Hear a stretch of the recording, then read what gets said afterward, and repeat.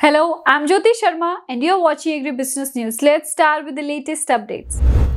After witnessing an unparalleled quarter 1 performance in FY 2022, Sonalika Tractors has further capitalized on its strong momentum built to achieve yet another vigorous performance. Fastest growing brand of the country and the number one exports brand of India, Sonalika has witnessed 10,756 overall tractor sales in July 2021 and run ahead by 5.2%. Raman Mittal, Executive Director of Sonalika Group said, Farmers are like family to us and we are honored bound to respect this relationship. Our insights state that in rural areas, children often don't have access to newer tools of education compared to their urban counterparts.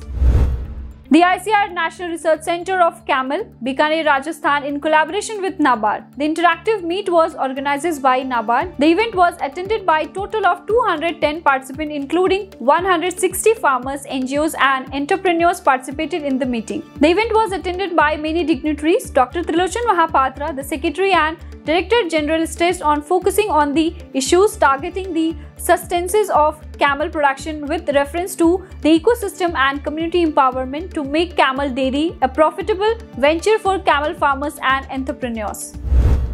AgroScout announced that it has completed a Series A investment round of 7.5 million to expedite the development of its AI cloud platform for remote agronomy and to increase its accessibility to the 500 million mostly unserved farm worldwide. The platforms allow all growers from the biggest to the smallest to efficiently compile with the rising demand for sustainable crop production and carbon accountability.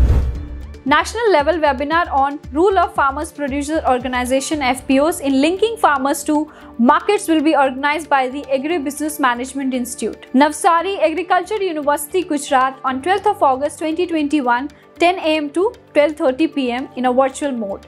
The main purpose of this webinar is to highlight the role of Farmers Producer Organization FPOs in linking farmers to markets, FPOs' role in providing end-to-end -end support and services to the small farmers and also cover technical services, marketing, processing and other aspects of cultivation inputs.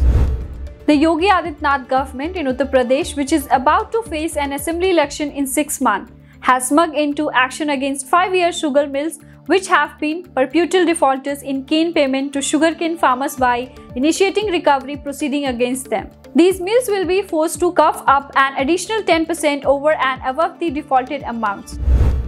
Considering the versatile and innovative activities undertaken for the sustainability of the rubber section and human resource development, the Commerce Minister has upgraded Rubber Training Institute RTI as a National Institute for Rubber Training. UN Environment Programmer's Regional Office for West Asia has released a new report, The State of Food Waste in West Asia, to highlight the amount of food waste in the West Asia region. Whenever the food is unloaded in a disposal area, it rots and become a major source of methane, a greenhouse gas within 21 times the global warming potential of carbon dioxide.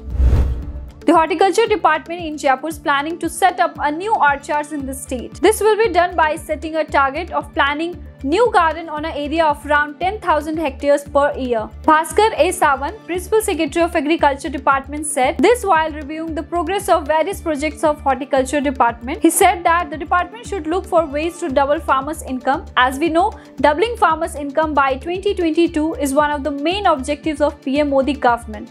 Hence, to achieve this vision, states are coming up with different initiatives and schemes. For more agri updates, keep watching Krishi Jagran. Thank you.